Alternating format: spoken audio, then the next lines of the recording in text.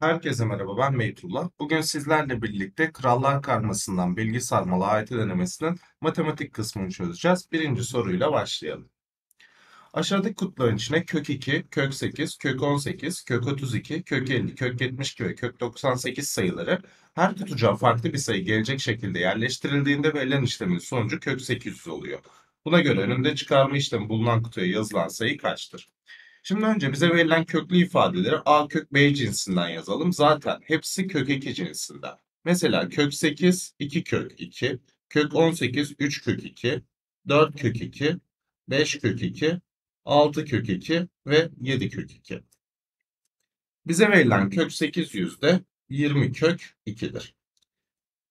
Şimdi burada önce bize verilen sayıların toplamını bulalım. Kök 2 parantezine aldığımızda Birden 7'ye kadar olan sayıların toplamı geliyor. Yani 7 çarpı 8 bölü 2 yapacağız burada da.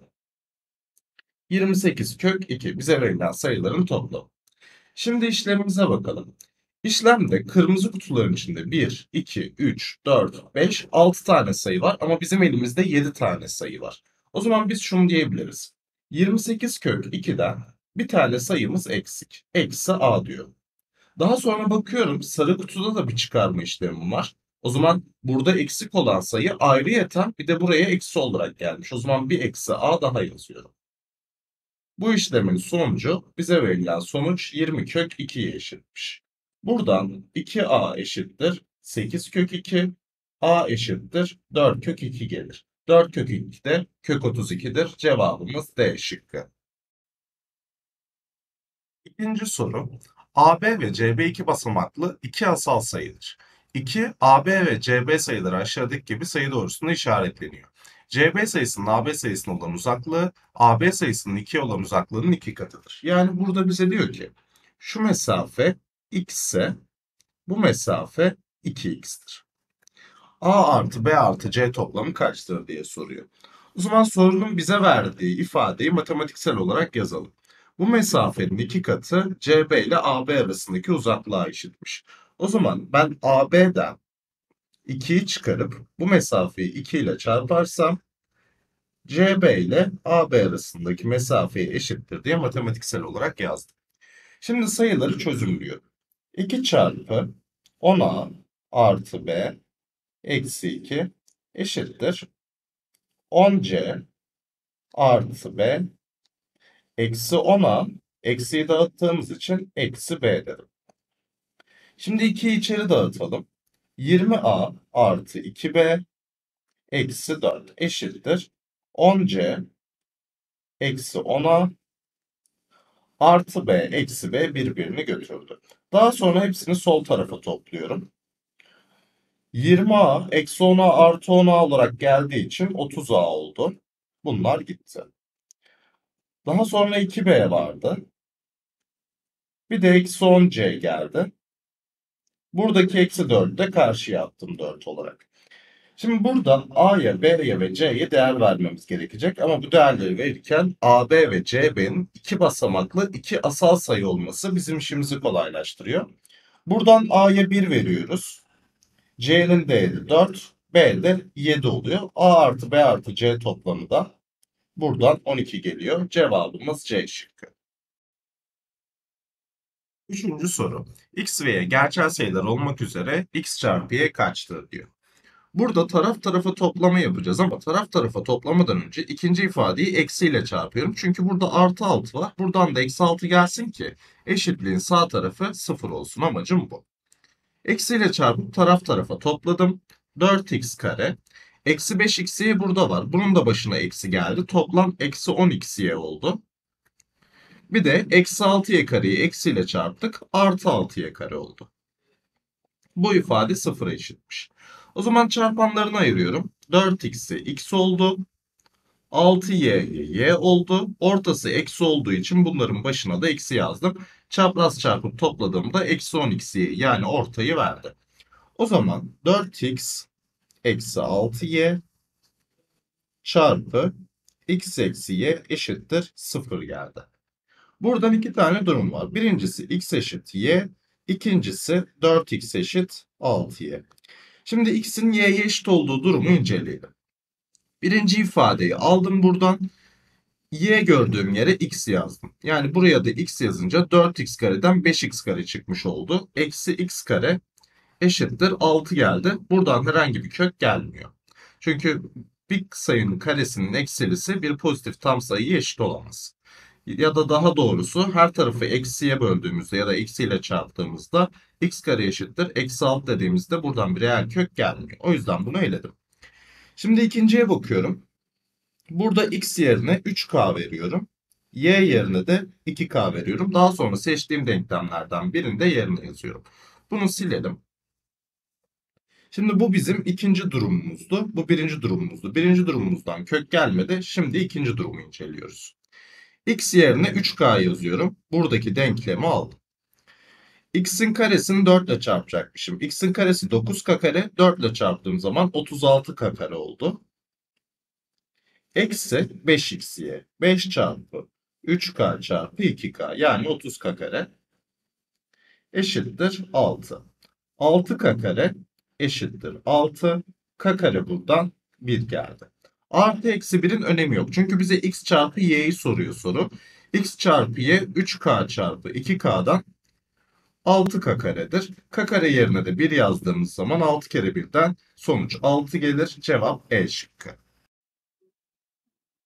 Dördüncü soru. X pozitif bir tam sayı olmak üzere B sayısının asal olmayan kaç farklı pozitif tam böleni vardır diyor. Şimdi A sayısı 2x ile 2x artı 2'nin ebobuymuş.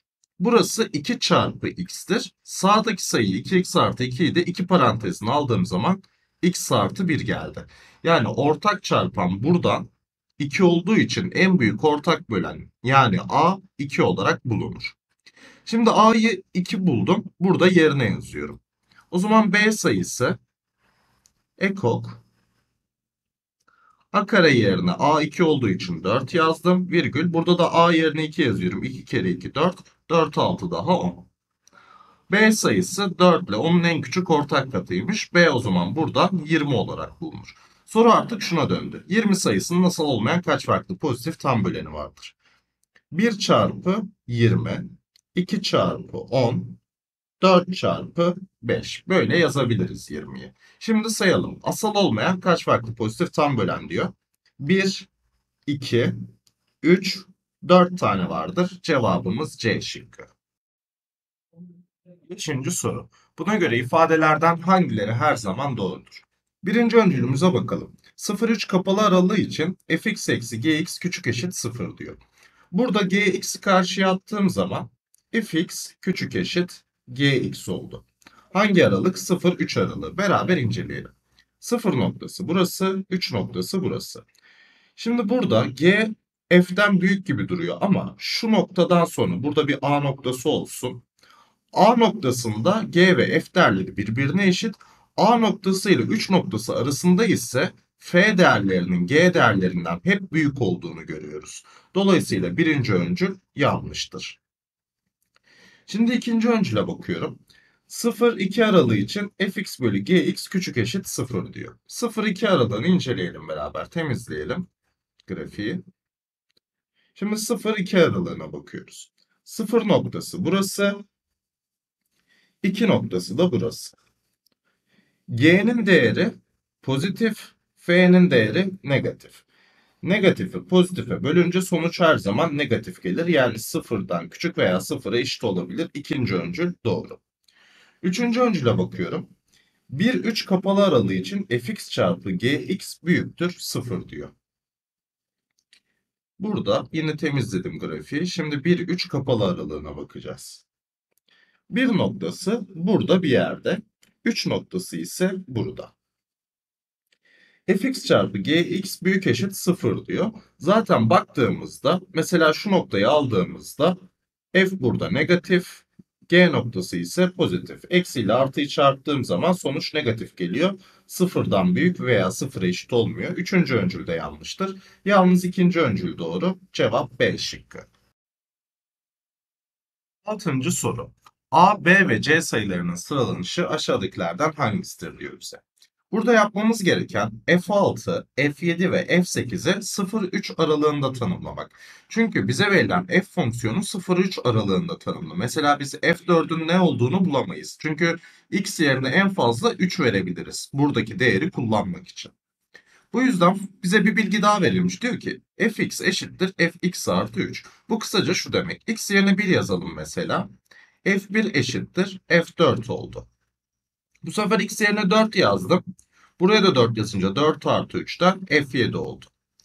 Yani her x değeri f de kendisinin 3 fazlasına eşit. O zaman burada geri geri gelerek 6, 7 ve 8'i 0-3 aralığına indirmeye çalışıyorum. f6 f3'e eşittir. f3 de f0'a eşittir. f7 f4'e eşittir. f4 de f1'e eşittir. f8 f5'e eşittir. f5 de f2'ye eşittir. Burada artık a, b ve c değerlerini bulabiliriz. Şimdi a için F3'ü mü kullanacağız, F0'ı mı kullanacağız? Burada dikkat ederseniz 0 açık aralık. Yani x yerine 0 veremiyoruz. Bu yüzden F3'ü kullanmalıyız. x yerine 3 yazdığımız zaman 3 kere 2 6 bir daha 7. A'nın değerini 7 olarak bulduk. B'ye bakıyorum 0-3 aralığındaki değeri 1 var burada. X yerine 1 yazdığımız zaman 2 kere 1 2 1 daha 3 oldu. C'ye bakıyorum 0-3 aralığında F2 var. X yerine 2 yazdığım zaman 2 kere 2 4 1 daha 5. Bize küçükten büyüğe sıralama istiyor. En küçük B'dir, sonra C'dir, sonra A'dır. Cevap B şıkkı. Yedinci soru. fx fonksiyonunun grafiği aşağıdakilerden hangisi gibi olabilir? AD kenarı ile BC kenarı x birimmiş. Dolayısıyla AE uzunluğu da ben x eksi k birim diyorum. Aynı şekilde GC uzunluğu da x eksi k oldu. Buradan üçgenlerin alanlarını bulalım. 2 çarpı, çünkü aynı üçgenden 2 tane oluştu. Taban çarpı yükseklik bölü 2 yapıyorum. K çarpı x eksi k bölü 2'den 2'ler sadeleşti. Benim fx fonksiyonum. Bu k'yi de içeri dağıttığım zaman k çarpı x eksi k kare geldi. Şimdi grafikleri inceleyelim. Grafiklerde bizim için önemli olan bir sıfır noktası var. Çünkü dikkat ederseniz her grafik sıfıra sıfır noktasından geçiyor. Sadece C ve D geçmiyor. O zaman burada f yerine sıfır verip bir bakalım. Çünkü sıfır noktasında bir ayrım var. x yerine sıfır yazdığım zaman burası sıfır oldu. Burası eksi k kare oldu. O zaman f sıfırın değeri eksi k karedir. Şimdi bakalım. A noktası sıfıra sıfır noktası var burada. A şıkkı elendi. B şıkkı da aynı şekilde elendi. E şıkkı da aynı şekilde elendi. C şıkkına baktığımda burada f0 k kare gibi gözüküyor ama bize eksi k kare lazım. Bu yüzden C şıkkı da elendi. Cevabımız D şıkkı. Sekizinci soru. Bize bir önerme vermiş. Bu önerme yanlış olduğuna göre ifadelerden hangileri kesinlikle yanlıştır diyor. İfademize bakalım.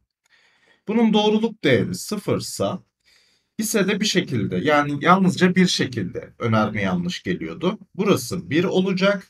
Burası 0 olacak. R'nin değeri 0 ise R'nin doğruluk değeri 1.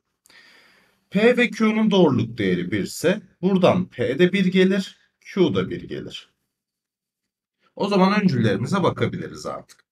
Birinci öncül Ayşe öğretmenin nöbeti çarşamba gündür diyor.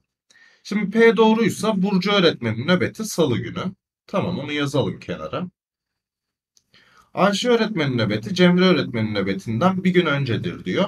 Dumrul'un e, Dumrul öğretmenin nöbeti Emir öğretmenin nöbetinden sonradır diyor. Dolayısıyla burada Ayşe öğretmeni kısıtlayacak bir durum yok. Birinci öncül olabilir. Kesinlikle yanlış diyemeyiz. Biz burada kesinlikle yanlış olanı arıyoruz. İkinci öncül. Cemre öğretmenin nöbeti çarşamba gündür. Şimdi Cemre öğretmene bakalım. Ayşe öğretmenin nöbeti Cemre öğretmenin nöbetinden bir gün öncedir diyor. Eğer Cemre öğretmenin nöbeti çarşambaysa Ayşe öğretmen bur Ayşe öğretmen burada salı günü nöbet tutar. Ama salı günü Burcu öğretmenin olduğu için ikinci öncül kesinlikle yanlıştır. Çünkü öğretmenlerin nöbet günleri de farklı. Üçüncü öncül Emir öğretmenin nöbeti Ayşe öğretmenin nöbetinden bir gün öncedir diyor. Şimdi biz burada Ayşe öğretmen çarşamba günü nöbet tutabilir demiştik. Ayşe öğretmen çarşamba günü nöbet tutarsa Emir öğretmen burada salı günü nöbet tutmuş olur. O zaman Burcu öğretmenle çakıştı. Yanlış oldu. Üçüncü öncül de yanlıştır. Kesinlikle yanlış olan 2 ve 3 cevap E şıkkı. Dokuzuncu soru. Parabolün denklemi hangileri olabilir diyor. Bizim parabolümüz C noktasında D doğrusuna teğetmiş. O zaman şöyle bir şekli var diyebiliriz. Burada ilk gözümüze çarpan şey kolları aşağı doğru. Dolayısıyla x karenin katsayısı yani buradaki a sıfırdan küçük olmalı. O zaman üçüncü öncülü eledik çünkü burada artı 1 var x karenin başında. Geriye 1 ve 2 kaldı. Köklerden biri negatif, biri pozitif. O zaman burada kökler çarpımı negatif olmalı diyebiliriz. Birinci öncüle baktım 7 bölü eksi 1'den negatif geldi. İkinci öncüle baktım 7 bölü eksi 1'den negatif geldi. Tamam burada da eleme yapamadık. Şimdi son olarak kökler toplamına bakalım. Şekle baktığımızda b'nin değeri a'dan daha büyük geliyor. O zaman eksi b bölü a'mız yani kökler toplamımız sıfırdan büyük olmalı. Bakıyorum. Burada eksi b 2 oldu bölü pardon artı 2 oldu. Bölü a da eksi 1 oldu. Eksi 2 geldi. Birinci öncül de gitti. İkinci öncüle bakıyorum. Eksi b eksi 3 oldu. Bölü a eksi 1. 3 geldi pozitif geldi. O zaman ikinci öncül parabolün denklemi olabilir diyorum. Yalnız 2 cevap B şıkkı. Soru. Buna göre sayılardan hangileri px polinomiının sıfırdır diyor. Öncülleri tek tek deneyelim. Şimdi birinci öncülde x yerine 1 yazmamız gerekiyor ama zaten elimizde p1 var. Biz x eşittir 3 ile başlayalım. Şimdi x yerine 3 yazdığım zaman p3 tabi x eşittir 3 için olduğunu belirtelim. P3 artı P1 eşittir. P3 artı x yerine 3 yazıyorum. 3'ün karesi 9. Eksi 6 eksi 3. Burası 0 geldi. P3'ler de gitti. O zaman son durumda P1 eşittir 0 kaldı.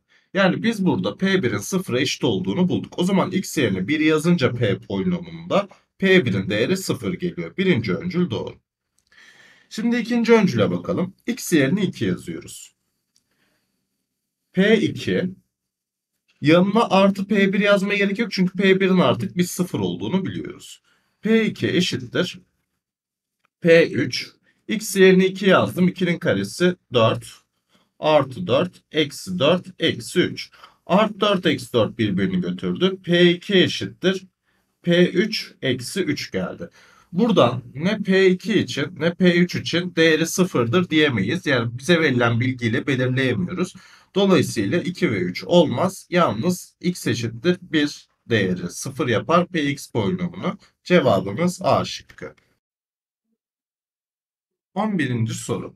Buna göre A kümesinin alt kümelerinin kaç tanesi asal kümedir? Bize asal küme dediği şey neymiş? Bir kümenin eleman sayısı asal sayı ise Şimdi 5 elemanlı bir kümemiz var. Bu eleman e, bu kümenin alt kümeleri 1, 2, 3, 4, 5 elemanlı olabilir. Asal küme olması içinse bize 2 elemanlar, 3 elemanlar ve 5 elemanlar lazım. Çünkü 2 elemanlı, 3 elemanlı, 5 elemanlı olduğu zaman eleman sayısı asal sayı oluyor. 5 tane elemanımız var dedik. 2 elemanlıları bulalım. 2 elemanlı alt küme sayısı 5'in ikilisinden 10 olarak bulunur. 3 elemanlı alt küme sayısı 5'in üçlüsünden 10 olarak bulunur. 5 elemanlı alt küme sayısı ise 5'in beşlisinden 1 olarak bulunur. Topladığımızda toplam 21 tane küme asal kümedir. Cevabımız D şıkkı. İkinci soru. Selim'in çözümüyle ilgili olarak ifadelerden hangileri doğrudur? Selim bir denklem çözmüş. Çözümü inceleyelim. Birinci adımda eksi 3'ü sağ tarafa atmış. Bu sağ taraf 16 olmuş. Her iki tarafı 4'e bölmüş. Birinci adımda bir sıkıntı yok. İkinci adımda bu üstteki 2'yi başa atmış ama burada bir hatası var. Çünkü burası direkt x artı 1 değil x artı 1'in mutlak değeri olacak. Çünkü derecemiz burada kuvvetimiz çift. Burada mutlak değeri almayı unuttuğu için yani buradan sonrasında zaten soru gitmiş. Çözümü yanlış. Biz çözümü buradan sonra birlikte devam ettirelim. İlk hata burada bulmuştuk. Her tarafı ikiye bölüyoruz. İkiler gitti. Logaritma 3 tabanında mutlak x artı 1 eşittir. 4'ü 2'ye böldüm. 2 geldi. Daha sonra şunu diyoruz. 3'ün karesi eşittir. Mutlak x artı 1. X buradan 8 gelir. X buradan içerisi eksi 9 olması ihtimaline karşı eksi 10 gelir. Yani çözüm kümesini yanlış bulmuş. Üçüncü öncül doğru, birinci öncül yanlış. Şimdi ikinci öncüle bakalım. Dördüncü adım doğrudur diyor. Dördüncü adımı tek başına değerlendirelim. Logaritma 3 tabanında x artı 1 2 ise x artı 1 3'ün karesinden 9'dur demiş. Dördüncü adımı tek başına incelediğimizde dördüncü adım doğrudur. Yani ikinci öncül de doğru. 2 ve 3 cevap E şıkkı. 16. soru x en fazla kaç olur diyor. Şimdi burada yuvarlakların içindeki işaretleri de biz belirleyecekmişiz. O zaman hepsinin değerini bulalım. 1 bölü 2 2 üssü eksi 1'dir. 16 da 2 üssü 4'tür. O zaman buradaki 4'ü başa atıyorum. Bölü buradaki eksi 1'i de paydasına yazıyorum. Burası zaten 1 oldu logaritma kitabında 2'den. 4 bölü eksi 1'den bu kutucuğun değeri eksi 4 geldi. İkinci kutucuğun değeri 2'nin 5. kuvveti 32 olduğunda 5 gelir. Üçüncüye bakıyorum. 3 üssü 1 bölü 2 var burada. Ee, daha doğrusu 3 üssü 1 var. Kökün kuvveti 3 olduğunda bu dışarı 3 üssü 1 bölü 3 olarak çıktı. 3'ün karesidir 9'da. 2'yi başa attım. Buradan da 1 bölü 3'ü paydaya yazdım. 2 bölü 1 bölü 3'ten bu kutucuğun değeri de 6 geldi. Şimdi bakalım. Önce bu ikisi. 5 ile eksi 4 var elimizde. 4 işlemden birini uygulayacağız ve en sonunda cevabın en büyük olmasını istiyorum. Çarparsam negatif bir değer gelir. O yüzden buraya toplama işareti yazıyorum. 5 ile eksi 4 topladım. 1 geldi. Şimdi burada da 5 ile 6 var. Toplama yazarsam 11 gelir. Çarpma yazarsam 30 gelir. En büyük değeri aradığım için buraya çarpma diyorum. 5 kere 6'dan 30 geldi. Ve son olarak elimde 1 ve 30 var. Toplarsam 31 çarparsam 30 gelir. O yüzden buraya artı yazıyorum. X'in en büyük değeri 31'dir. Cevabımız E şıkkı. 14. soru. Buna göre ifadelerden hangileri doğrudur? Herhangi ardışık 3 terimin toplamını birbirine eşit olan bir AN dizisi varmış elimizde. A2 ile A3'ün toplamı A4'e eşitmiş. Bu da 2'ymiş. O zaman A4'ü buradan 2 olarak A2 artı A3'ü de 2 olarak yazabiliriz. Ben o zaman şunu diyorum. A1 artı A2 artı A3 eşittir. A2 artı A3 artı A4. Burada baktığımız zaman A2 ile A3'ün toplamı 2, A4 de 2. O zaman herhangi ardışık 3 teriminin toplamı 4 geliyor. 2 ile 2'nin toplamında. Öncüllere bakalım. Birinci öncül A1 eşittir 2 diyor. A2 ile A2'yi sadeleştirdim. A3 ile A3'ü sadeleştirdim. Son durumda A1 eşittir. A4 oldu. A4'ü ben 2 olarak bulmuştum. O zaman A1 de 2'dir. Birinci öncül doğru. İkinci öncülde A3, A4 ve A5'in toplamı 4'tür diyor. Üçüncü terim, dördüncü terim ve beşinci terim ardışık. Biz zaten herhangi ardışık 3 terimin toplamını 4 olarak bulduk. İkinci öncül de doğru. Üçüncü öncüle bakalım. Birinci terimden 10. terime kadar bu toplamın değeri 14'tür diyor. Şimdi burada A10, A9 ve A8'i gruplandıralım. Ondan sonra yani bu herhangi ardışık 3 terim olduğu için bunun değeri 4 gelecek. Daha sonra 7, 6 ve 5'i gruplandıralım. Bunun değeri de 4 gelecek. Daha sonra 3, 4, 3 ve 2'yi gruplandıralım. Bunun değeri de 4 gelecek. Geriye A1 kalıyor. A1'i de biz zaten 2 olarak bulmuştuk. Bunları toplayınca 4, 8, 12, 2 daha 14 geldi. Üçüncü öncül de doğru. Cevabımız E şıkkı. 15. soru. Seçim kaç farklı şekilde yapılabilir diyor. 6 kişiden oluşan bir öğrenci grubundan matematik kulübüne biri başkan 4 kişi, fizik kulübüne biri başkan 5 kişi seçilecek. İki kulübün de başkanları aynı olacakmış. O zaman bu iki kulübün üye sayısını bir Venn şeması üzerinde gösterelim. Kesişime bir kesin yazıyorum çünkü başkan olacak bir kişi. Burası matematik, burası fizik. Şimdi başkanı seçtikten sonra fiziğe fizik 5 kişi olacaksa toplam 4 seçim daha yapmam gerekiyor. Yani bu burada da olabilir, ayrık da olabilir. Fark etmez. Matematiğin de bir tane başkanı var. Başkan ortak kişi. Matematik toplam 4 kişi olacaksa Buraya 3 kişi daha seçmem gerekiyor. Şimdi önce başkanı seçelim. Başkan için 6'nın birlisinden 6 farklı durum var. Daha sonra geri kalan 5 kişiden matematik kulübü için üye seçiyorum. 5'in üçlüsünden 5 çarpı 4 çarpı 3 bölü 3, 2, 1 dedim. 3'ler sadeleşti. 10 seçim yaptım. Fizik içinse 5 kişi vardı. Çünkü başkanı seçtik. 5 kişi kaldı. 4 üye daha seçiyorum bu 5 kişiden. 5'in dörtlüsünün değeri 5'tir. Bunlar bileşik durum olduğu için çarpıyorum. 10 kere 5 50. 50 ile de 6'yı çarptım. 300 farklı seçim yapılabilir. Cevap C şıkkı. 16. soru. Bu kesme işleminin sonunda 2 adet yedigen oluşma olasılığı kaçtır? Elimizde bir 12 gen var ve köşegenden kesildiğinde yedigen oluşmasını istiyorum. 7 burada önemli bir sayı çünkü 12'nin yarısının bir fazlası 7 eder. Bunun önemine çokgenlerde şöyle gösterelim. Mesela bir tane altıgen çiziyorum. Mümkün olduğunca da düzgün çizmeye çalışıyorum. Elimizde bir altıgen var ve ben bu altıgenden bir dörtgen elde etmek istesem yani altının yarısının bir fazlası kenara sahip, köşeye sahip bir dörtgen elde etmek istesem burada şunu yapmam gerekiyor. Bu altıgenden seçeceğim köşegenler şekli iki simetrik parçaya ayıran köşegenler olmalı. Yani bu köşegenler. Şimdi mesela şunu baz alalım. Böyle kestiğimiz zaman ne oluyor? İki tane yamuk şeklinde parça oluşuyor benim elimde ve ikisi de dörtgen oluyor. 12 12 gende de bunu yapmamız lazım. Yani 12 gende de seçeceğimiz köşegenler şekli simetrik parçalara ayıran köşegenler olmalı. Peki böyle kaç tane köşegen olduğunu nasıl bulacağız? Altıgen üzerinden ilerleyelim. Altıgenin kaç tane var?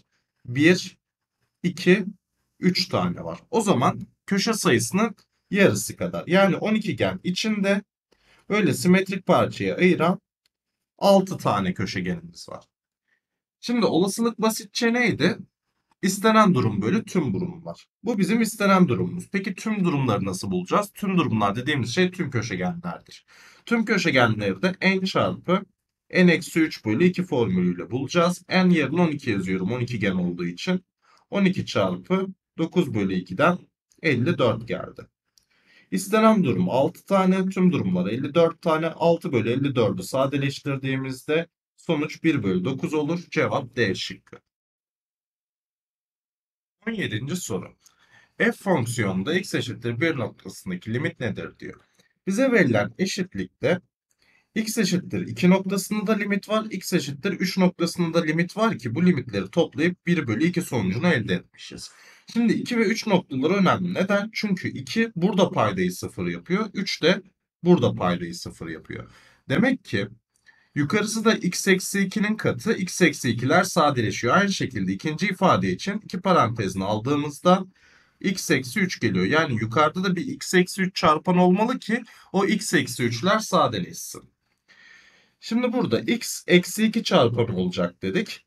Diğer çarpan da x. Ortanın eksi 4 olması için buranın da eksi 2 olması gerekiyor. Dolayısıyla biz buradan a'yı 4 bulduk.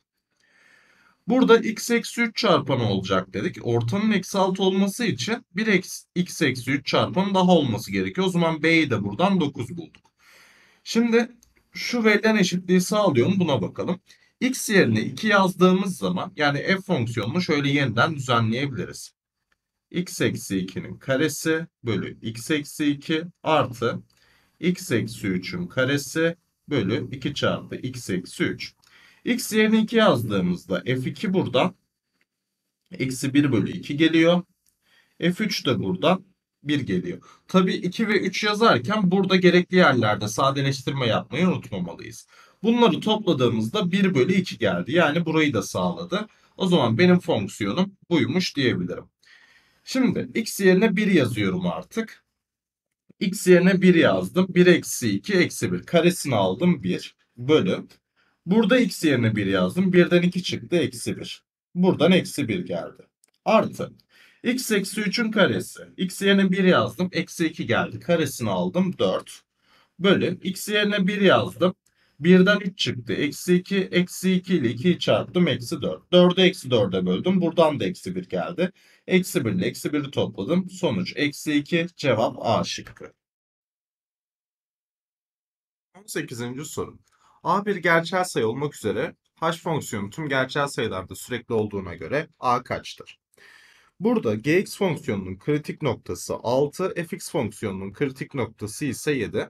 Bir de burada ufak bir düzeltmemiz var. Burası x küçüktür 7 değil, x büyüktür 7 olacak. Şimdi burada x yerine 6 verdiğim zaman h6 eşittir. fx artı 1 olduğundan 6 bir daha 7 f7 artı a çarpı g6 oluyor. Yani hem f fonksiyonunun hem g fonksiyonunun kritik noktalarına değinmiş oluyoruz. O zaman burada 6'ya bir sağdan bir de soldan yaklaşalım. H'ın içine 6'nın sağını yazıyorum. F 6'dan büyük bir sayı yazarsam 7'den büyük bir sayı gelir. O yüzden 7 artı dedim. Artı a çarpı g 6 artı oldu. Şimdi 7'nin sağına bakalım. 7'nin sağında fonksiyonun değeri 8'miş. O zaman buraya 8 yazdım. Artı a çarpı g fonksiyonuna 6'nın sağından yaklaşalım. 6'dan büyük olduğu yerlerde değer 3 oluyormuş. Şimdi bir de 6'ya soldan yaklaşıyorum. h fonksiyonunda. 6'ya soldan yaklaştım. 6'dan küçük bir sayı yazarsam burası 7'den küçük bir sayı gelir. Yani 7 eksi oldu. Artı a çarpı g 6 eksi. Şimdi f fonksiyonunda 7'nin solundan yaklaşalım. 7'nin solundaki yerlerde değer 2'ymiş. Artı a çarpı g fonksiyonunda 6'nın solunda değerimiz eksi 3 oluyormuş. Şimdi bu iki değerin birbirine eşit olması gerekiyor. Buradan a'yı bulabiliriz. 3a artı 8 eşittir. Eksi 3a artı 2. Eksi 3a'yı sola 8'i sağ tarafa attım. 6a eşittir. Eksi 6 geldi. a buradan eksi 1. Cevap B şıkkı. 19. soru.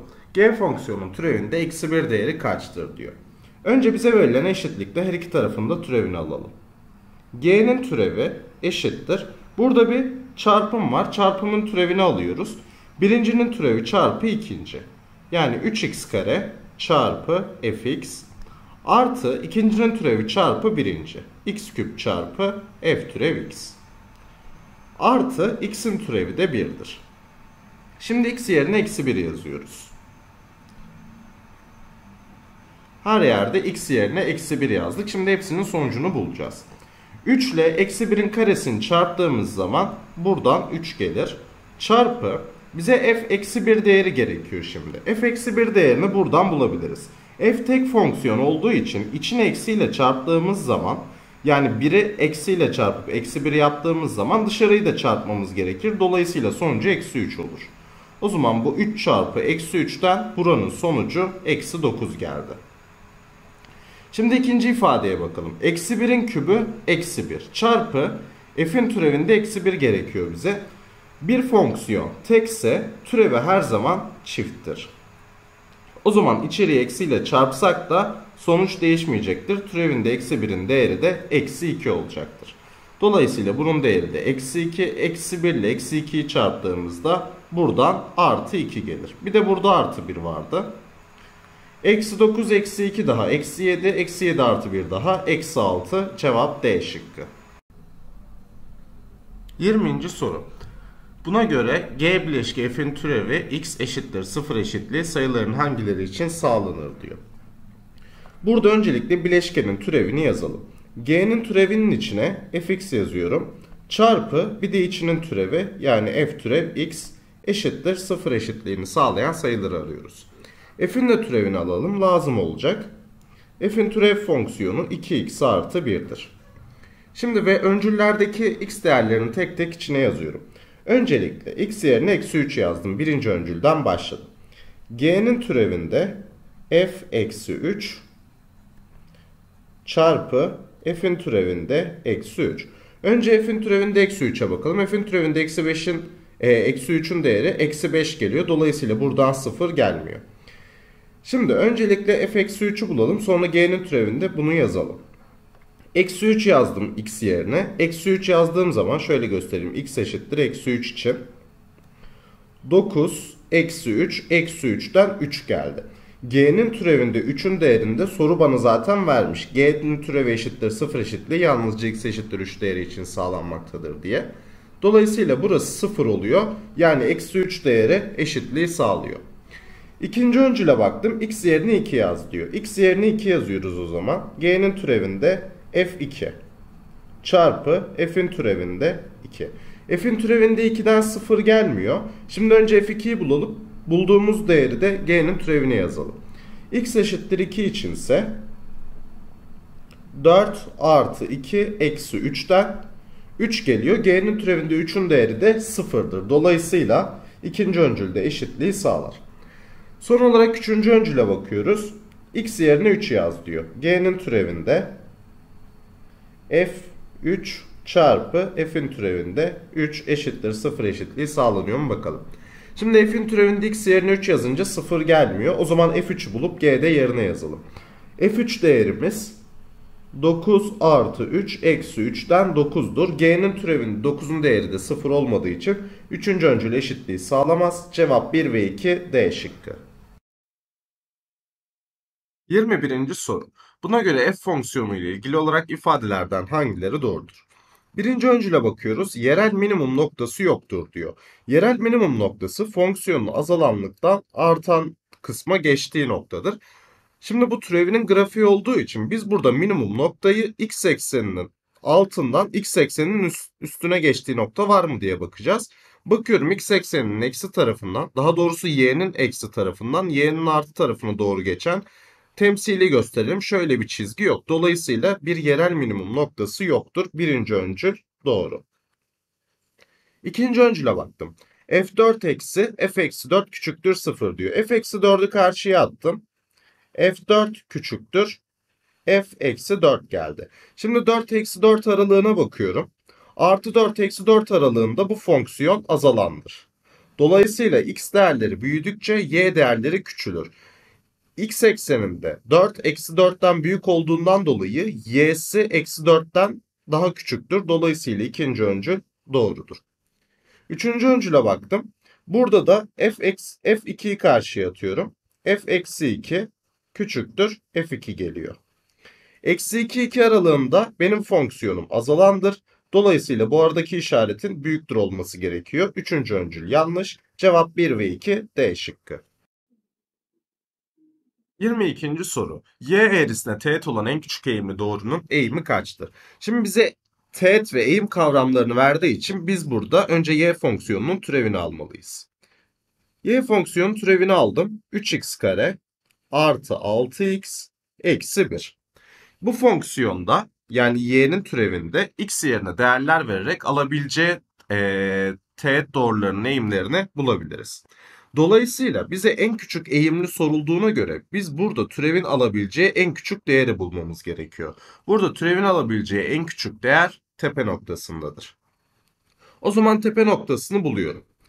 Fonksiyonun türevini aldım. Yani y'nin ikinci türevini sıfır yapan x değeri tepe noktasının apsisidir. 6x artı 6 eşittir 0 dedim. Tepe noktasının apsisi eksi 1 geldi. O zaman eksi 1'i fonksiyonun kendisinde yerine yazıyorum. 3 çarpı eksi 1'in karesi artı 6 çarpı eksi 1 eksi 1. Buradan 3 geldi. Eksi 6 eksi 1'den cevap eksi 4 B şıkkı. 23. soru. İntegralin değeri kaçtır diyor. Burada önce fx'e u diyorum. Daha sonra her iki tarafında türevini alıyorum. f türev x çarpı dx eşittir du oldu. Şimdi integrale tekrar bir göz atalım. f türev x çarpı dx var. Biz buraya du yazdık. E fx'e de u demiştik. Yani artık integralim şuna döndü. Sıfırdan 2'ye u'nun karesi du oldu. O zaman bu integralin sonucunu biz bulabiliriz. Sınırlarımız 2'ye 0. u küp bölü 3 olarak bulunur. Şimdi u yerine de tekrardan fx yazıyorum. İntegralimin son hali sıfırdan 2'ye fx'in kübü bölü 3 oldu. Şimdi sıfırdan 2'ye olduğu için f2'nin kübü eksi f0'ın kübü bölü 3 bana bu integralin cevabını verecek. Bizim ihtiyacımız olan f2 ve f0 değerleri. Grafiğe baktığımızda f2'nin 0 olduğunu, f0'ın da 3 olduğunu görebiliyoruz. O zaman değerleri yerine yazalım. 0 eksi f0'ın kübü. f0 3'tü. 3'ün kübü 27 bölü 3'ten cevabımız eksi 9 D şıkkı. 24. soru. Mavi boyalı bölgenin alanı sarı boyalı bölgenin alanının 3 katı olduğuna göre D doğrusunun y eksenini kestiği noktanın ordinatı kaçtır? Buraya sarı bölgeli alana A dersek mavi bölgeli alan 3A olur. O zaman biz buradan 4A'yı bulabiliriz. 4A'yı nasıl buluruz? Şimdi 4A nereyi kapsıyor bir bakalım. Birincisi x eşittir 0 apsisli noktadan başlıyor. İkincisi burada x eksenini kestiği noktayı bulmamız gerekiyor. Onu da f fonksiyonundan bulabilirim. Eksi 3x kare artı 12 eşittir 0 deyip eksi 3x kareyi karşıya attım. 3x kare eşittir 12, x kare eşittir 4, x buradan artı eksi 2 gelir. Yani burası eksi 2 noktasıymış. O zaman ben bu 4a'lık alanı eksi 2'den 0'a eksi 3x kare artı 12 integraliyle bulabilirim. Yani buradaki y eşittir fx eğrisinin 0 ile eksi 2 alanında e, 0 ile eksi 2 arasında x ekseniyle sınırladığı bölgenin alanını arıyorum şu an. Bu ifadenin integralini alalım. Sınırlarımı yazıyorum. 0 ve eksi 2 eksi x küp artı 12x. 0 ve eksi 2'yi yerine yazıp birbirinden çıkarıyorum. 0 yazdığım zaman 0 geldi zaten. Eksi. Eksi 2 yazıyorum. Artı 8 eksi 24 oldu. Burası eksi 16'dır. 0 eksi eksi 16'dan artı 16 geldi. Benim bulduğum ifade 4a'ya eşitti. O zaman a buradan 4 geldi. Şimdi ben artık sarı boyalı bölgenin alanının 4 olduğunu biliyorum. Burası M noktası olsun. 4 eşittir. Üçgenin alanı taban çarpı yükseklik bölü 2 diyorum. M çarpı 2 bölü 2 oldu. İkiler sadeleşti. M noktası yani bizim ordinatımız 4 geldi. Cevabımız B şıkkı. 25. soru. B eksi A farkı kaçtır diyor. Burada grafiğimize bakalım. Öncelikle bulmamız gereken bir T noktası var. Bu T noktası F ve G fonksiyonlarının kesiştiği nokta. T noktasını bulmak için iki fonksiyonun denklemlerini birbirine eşitliyorum. x küp eşittir 1 bölü x dediğim zaman buradaki x değerini 1 olarak buldum. T noktasının apsisi 1. Herhangi bir denklemde yerine yazdığım zaman ordinatı da 1 geliyor. Şimdi kesiştikleri noktayı bulduk. Bundan sonra A ve B alanlarını yazabiliriz. Önce A bölgesinin alanını yazalım. Şimdi A bölgesine baktım. T noktasından bir dikme indiriyorum buraya. Bu T noktası kritik. Çünkü sıfırdan, burası sıfır noktası, burası bir noktası. Sıfırdan 1'e kadar F'nin altında kalan alanla birden 3'e kadar G'nin altında kalan alanı topladığımda A bölgesinin alanını bulabilirim. İntegral cinsinden yazalım bunu. Sıfırdan 1'e kadar F'nin altında kalan alan demiştik. F'nin denklemi x küp dx artı birden 3'e kadar da G'nin altında kalan alan demiştik. G'nin denklemi de 1 bölü x küp. dx'i de yazdık tabi. Şimdi bunların değerlerini bulalım. Sıfırdan 1'e kadar x küp dediğimiz ifade integralden x üssü 4 bölü 4 olarak kurtulur. Sıfırdan 1'e kadar da buradan gelecek cevap 1 bölü 4'tür. Artı 1 bölü x küp de ln x olarak integralden kurtulur. 3'ten 1'e kadar yani ln 3 eksi ln 1 yaptığımızda ln 1'in değeri zaten 0 olduğundan dolayı buradan da ln 3 gelir. Biz artık a'nın alanını bulduk. Bizim a dediğimiz alan 1 bölü 4 artı ln 3'tür.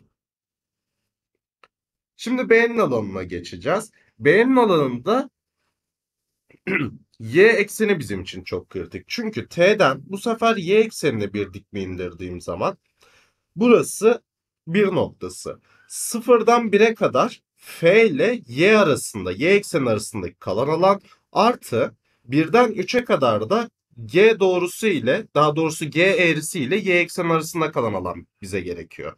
O zaman B'yi yazmadan önce, B'nin alanını yazmadan önce ben her iki fonksiyonu da Y cinsinden yazmalıyım. Çünkü burada eğrilerle Y ekseni arasında kalan alanı kullanacağız. Şimdi burada y eşittir x küp dersek fx fonksiyonu için konuşuyorum şu an. y eşittir x küp dediğim zaman x cinsinden bu fonksiyonu x eşittir 3. dereceden kök içinde y diye yazarım. gx için konuşalım. Gx fonksiyonumda y eşittir 1 bölü x dersem fonksiyonu x cinsinden x eşittir 1 bölü y olarak yazarım. O zaman şimdi b'nin alanını yazabiliriz. Ne dedik? Sıfırdan 1'e kadar f'nin altında kalan alan. İntegrali 0'a 1 sınırlarımı yazdım.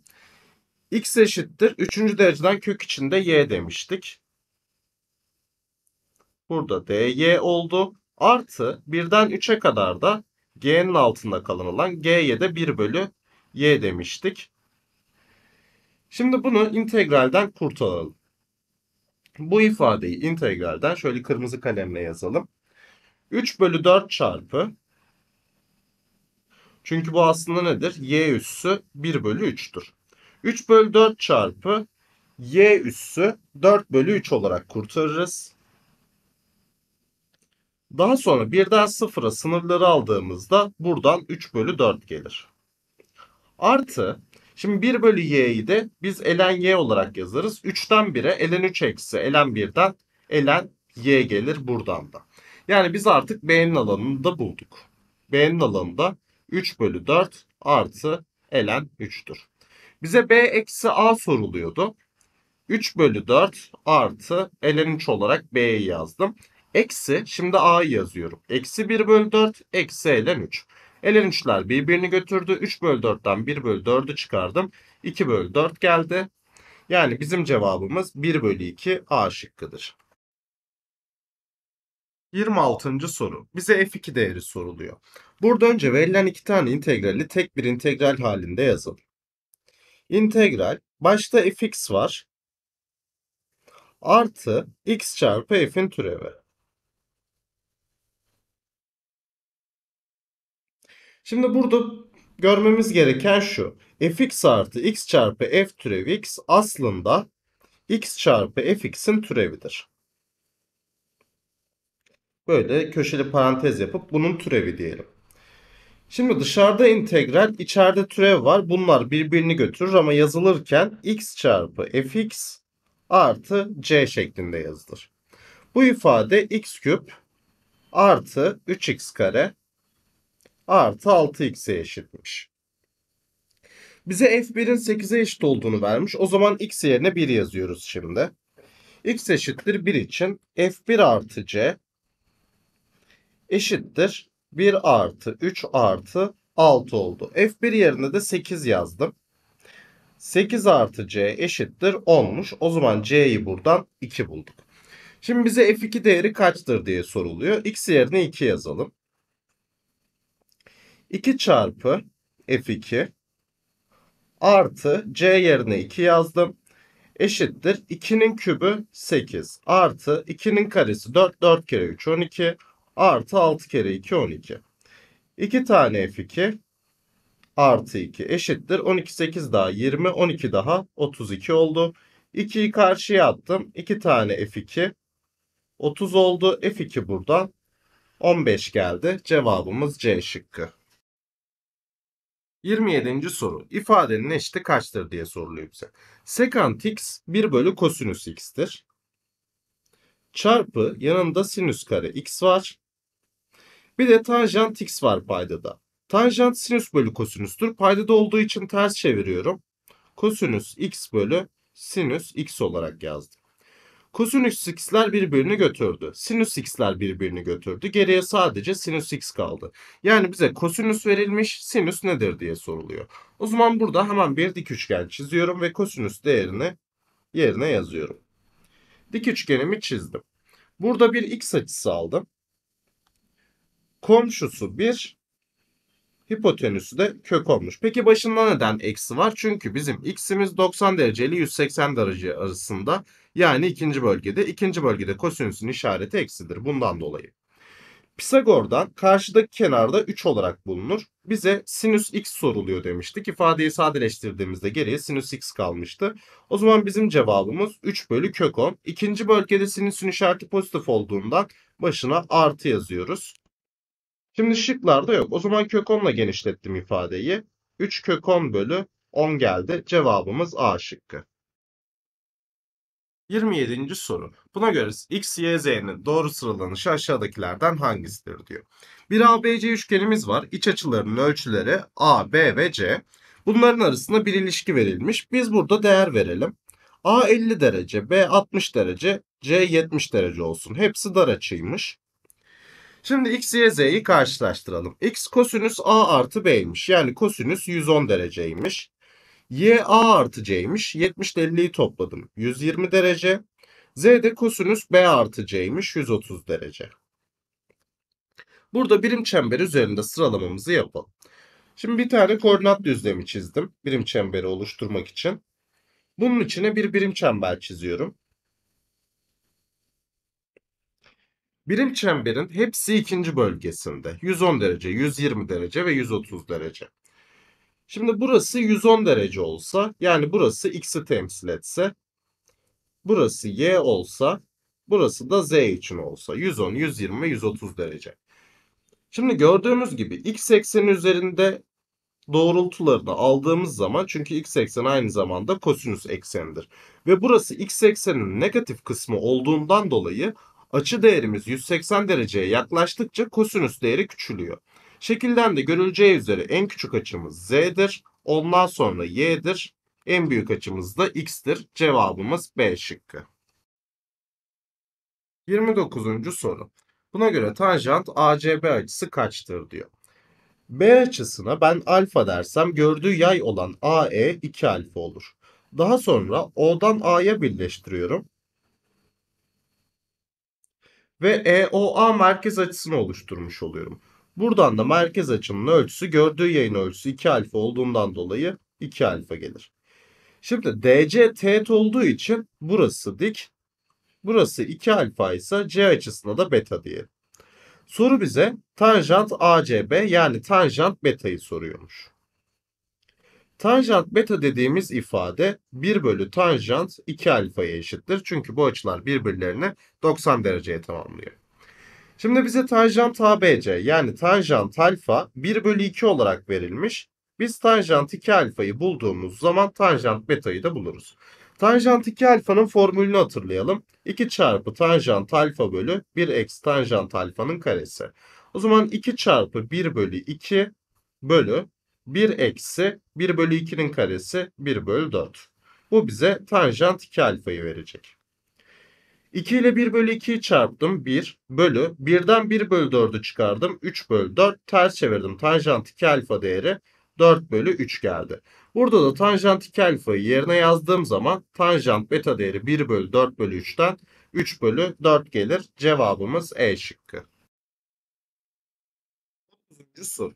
A ve B karıncaları dik koordinat düzleminde x eksenin üzerindeki bir noktada bulunmaktadır.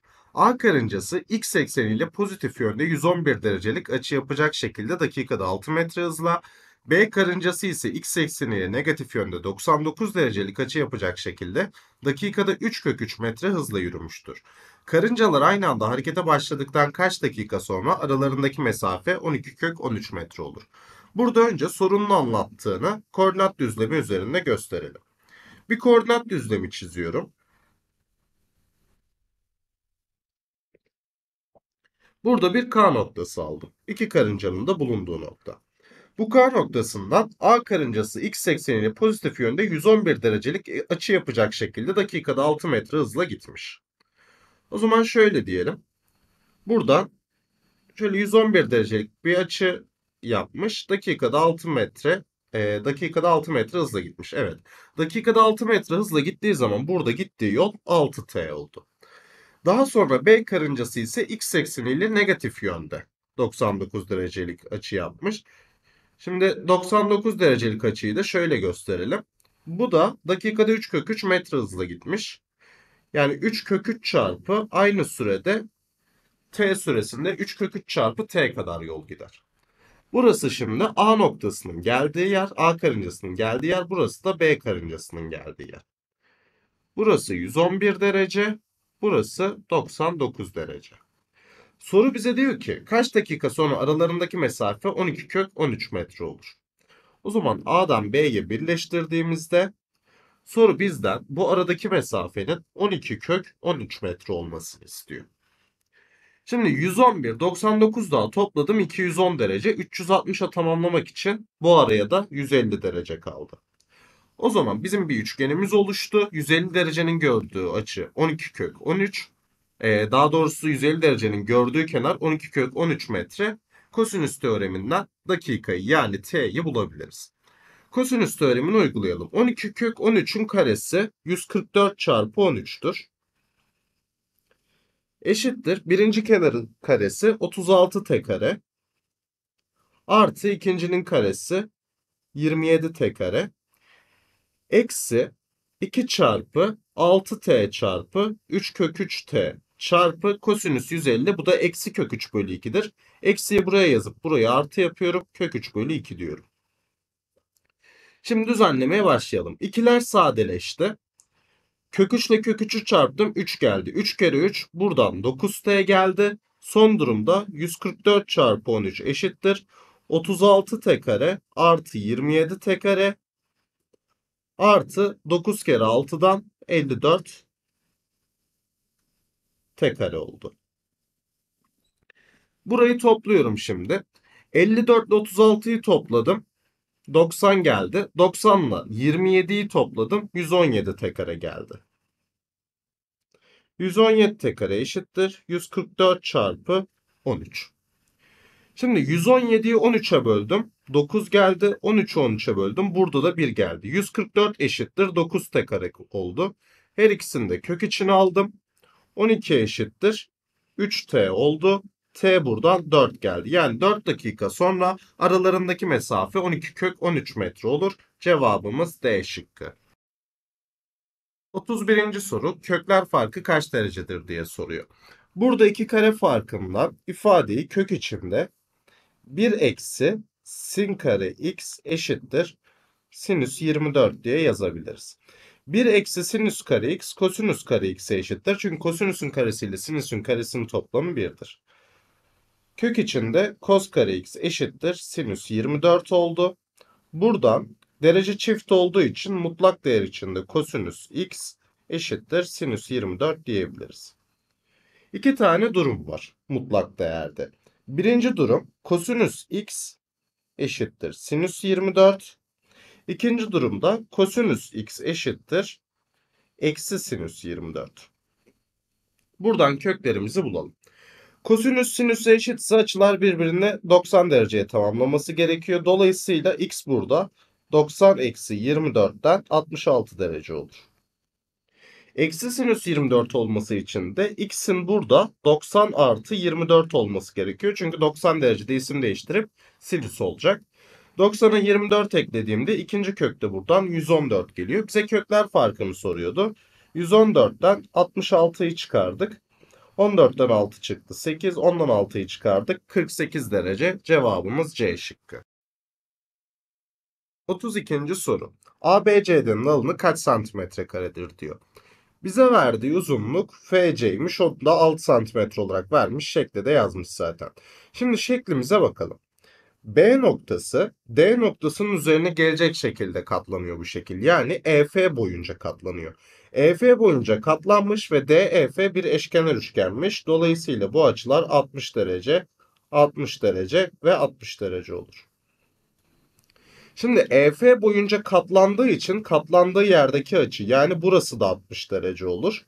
E 180 dereceye tamamlamak için bu açı da 60 derece olur. Şimdi bu açının 60 derece olması bizim için önemli. Çünkü C açısı dik açı. Buraya da o zaman 30 derece kaldı. 30 derecenin karşısı 6'yı görüyorsa 60 derecenin karşısı 6 kök 3'ü görür.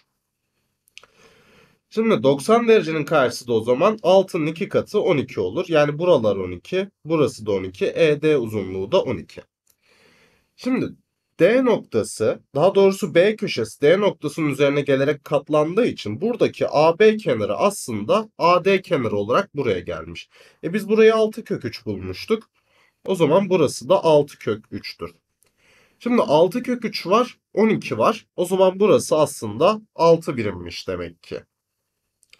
E burası da 12 birimse buradaki ED uzunluğu şu BF uzunluğuna eşit çünkü oradan katlanmış aslında. Yani buradaki 12 birimi de alıp buraya yazıyoruz ve BC uzunluğunun tamamı 18 birim oluyor. Artık alanı bulabiliriz. Alan iki kenarın çarpımıdır. 18 çarpı 6 kök 3'ten 108 kök 3 olarak bulunur. Cevabımız B şıkkı. 33. soru. D ve C noktalarının ordinatları farkının mutlak değeri kaçtır diye soruyor. Burada şeklimizi yakınlaştıralım. B noktasını biliyoruz. 0'a 9 noktası ise bu OB uzunluğu 9 birim. Şimdi C noktasından x eksenine paralel olacak şekilde AD kenarına birleştirdim. Burada kare olduğu için AD CB'ye paralel zaten. E ben şimdi x eksenine de paralel çizdim. O zaman burası bir paralel kenar oldu. Şimdi açılardan gidelim. Ben buradaki A açısına A desem, küçük A desem 90 dereceyi tamamlamak için burası B olacak. Yöndeş açılardan burası da B olacak. Burası 90 derece. Şimdi burası A açısıysa burası 90 derece. Ben A artı B'nin 90 derece olduğunu burada A köşesinden görebiliyorum zaten. O zaman burası da B açısı olacak. Yukarıdaki üçgende de burası A açısı olacak. Şimdi açılar eşit. Hipotenüslere bakıyorum. Şöyle kırmızı ile çizelim. Bu uzunlukla yani A'dan burası M noktası olsun. Burası da E noktası olsun. AM uzunluğuyla EC uzunluğu birbirine eşit. O zaman buraya ben x birim dersem burası da x birim olur. Yani artık ben ABM üçgeni ile EDC üçgeninin birbirine eş olduğunu söyleyebilirim. Şimdi ABM üçgeninde B noktasından bir dik indirilmiş ve burası 9 birimmiş. O zaman ben de aynısını EDC üçgeninde yapıyorum. Hipotenüsten D noktasından bir dik indiriyorum. Bunlar artık eş üçgen olduğu için burası da 9 birim. E soru zaten bizden bunu istiyordu. D ve C noktalarının ordinatları farkının mutlak değerini soruyordu. C noktasının ordinatı burası. D noktasının ordinatı burası. Aradaki farkı zaten biz buradan 9 olarak bulduk. Cevabımız D şıkkı. 34. soru. A noktasının koordinatları çarpımı kaçtır diyor. Şimdi şekli yakınlaştıralım. Bize verdiği bilgi B ile C noktalarından geçen doğrunun eğiminin eksi 3 bölü 2 olduğu ve karenin bir kenar uzunluğunun 4 birim olduğu. O zaman B ve C noktalarını üçgene tamamlıyorum. B noktasından ve C noktasından birleştirdim. Buradan geçen bir doğrumuz var. Bu doğru da şöyle olsun. Bunun eğimi eksi 3 bölü 2'ymiş. Şimdi iyice yakınlaşalım. Ben bu uzunluğa A birim dersem. Bu uzunluk B birim olsun. Şimdi burası B noktasının iz düşümü olduğundan dolayı yani B üssü noktası olduğundan dolayı konumları eşitti noktaların. O zaman burası da A birim. Burası da A birim. Şimdi karenin bir kenar uzunluğu A artı B birim oluyor o zaman. A artı B'yi de bize 4 olarak vermiş. Yani dolayısıyla buradaki yatay uzunluğumuz 4 birim. Eğip 3 bölü 2 olacaksa Yatay uzunluğumuz 4, dikey uzunluğu bilmiyorum. Dikey uzunluk buradan 6 birim geldi. Yani buranın tamamı B'den B üstüne kadar olan uzunluğun tamamı 6 birim olmalıymış. O zaman burada bir uzunluk olacak ve bu uzunluğun aynısı burada da olacak. Ben bu iki uzunluğa M ve M dersem 6 artı 2M iki tane kenarın uzunluğuna yani 8'e eşit oluyor. M burada 1 gelir. O zaman A, B ve C noktaları bulundukları karelerden birer birim içeride eşitlenmiş. Yani buradaki mesafe 1 birim, buradaki mesafe 1 birim. Şimdi karenin bir kenar uzunluğu 4 birimse burası 4 noktası. O zaman A noktasının 1 birim aşağı iniyorum. Ordinatı 3'tür. Apsisi de zaten belli 1 birim olduğu için X'deki noktası da 1'dir. Apsisi 1, ordinatı 3. Bize koordinatları çarpımı soruluyordu. 3 çarpı 1'den cevabımız 3 C şıkkı. 35. soru. Buna göre D1 ve D2 doğrularının y eksenini kestiği noktalar arasındaki uzaklık kaç birimdir? Eğimi 1 olan D1 doğrusu varmış. Eğimi eksi 1 bölü 2 olan D2 doğrusu varmış. Burada y eşittir mx artı n denklemini kullanalım. Buradaki m eğimdi. N ise y eksenini kestiği noktalardı. Şimdi D1 doğrusu için konuşalım. D1 doğrusunun eğimi 1 olduğu için x artı a diyorum. Buradaki a y eksenini kestiği nokta. D2 doğrusu için eğimi eksi 1 bölü 2 olduğundan eksi x bölü 2 artı b diyorum buna. Şimdi sorunun bizden istediği şey D1 ve D2 doğrularının y eksenini kestiği noktalar arasındaki uzaklık. Yani a eksi b'nin mutlak değeri nedir diye soruyor. Soruda bize verilmiş bilgilere bakmaya devam edelim. Bu iki doğrunun kesim noktasının y eksenine olan uzaklığı 2 birimdir diyor. Şimdi y eksenine olan uzaklık demek apsis demektir. O zaman bu iki doğrunun kesim noktalarının apsisi 2 birimmiş. Yani biz x yerine 2 verdiğimiz zaman bu iki denklem birbirine eşit oluyormuş. O zaman D1'de x yerine 2 yazıyorum. 2 artı a geldi. Eşittir dedim. D2'de x yerine 2 yazıyorum. Eksi 2 bölü 2'den eksi 1 artı b geldi. Eksi 1'i sol tarafa, a'yı sağ tarafa attım. 2 artı 1 eşittir b eksi a geldi. Buradan 3 eşittir b eksi a geldi. Soru zaten bizden a eksi b'nin mutlak değerini istiyor, istiyordu. O zaman mutlak değer içinde a eksi b, b eksi a'ya eşitmiş. Bunun da cevabı 3'tür. Cevabımız C şıkkı. 36. soru. O merkezi bir dairenin merkezinden geçen mavi renkli iki kirişi daireyi 4 eş dilime ayırırken bu dairenin merkezinden geçen kırmızı renkli 3 kiriş de daireyi 6 eş dilime ayırıyor. Mavi ve kırmızı renkli kirişlerden birer tanesi çakışık olduğuna göre farklı renkli iki kiriş arasındaki açının ölçüsünün derece cinsinden değeri aşağıdakilerden hangisi olabilir? Önce bir tane çember çizelim. Çemberimizi çizdik. Şimdi bu çemberin merkezinden geçen mavi renkli iki tane kiriş bu daireyi dört eş parçaya ayırmış. O zaman o kirişleri çiziyorum önce. Biri böyle olsun, diğeri de böyle olsun. Dört eş dilime ayırdı şu an. Daha sonra kırmızı kirişler var. Bir tanesi mavi kirişle çakışık. O zaman kırmızıyı da böyle çektim. Şimdi altı eş dilim ayırması için yani şöyle basitçe gösterecek olursak böyle altı eş dilim ayırması için arasındaki açının 60 derece olması gerekiyor. O zaman kırmızı kirişlerde şöyle olsun diyorum. Biri böyle, diğeri de böyle. Şimdi iki tane kırmızı kiriş arasındaki açı 60 derece olmalı 6 eş parçaya ayırdıysa. O zaman burası 30 derece olur. Kırmızıların arası 60 olması için burası da 30 olur. Burası 60 olur. Soru bize farklı renkli iki kiriş arasındaki açının ölçüsünün derece cinsinden değeri aşağıdakilerden hangisi olabilir diyordu. Mavi ile kırmızı arasında burada 30 derecelik bir açı var. Şıklarda da 30 var. Demek ki 30 derece olabilir. Cevabımız D şıkkı. 37. soru. Mavi boyalı bölgenin alanı kaç santimetre karedir diyor. Bize şimdi en küçük çemberin yarıçapı verilmiş. Bunu kullanalım. O'dan BC'ye birleştirdiğimde, bir dik indirdiğimde burası dik oldu ve kirişi iki eş parçaya ayırdı. Kirişin uzunluğu 12 santimetre ise burayı 6'ya 6 olarak bölmüş oldu ve en küçük çemberin yarıçapı 2 idi. Bunu da yazdım. Şimdi O'dan B'ye de birleştirip burayı bir dik üçgene tamamlıyorum.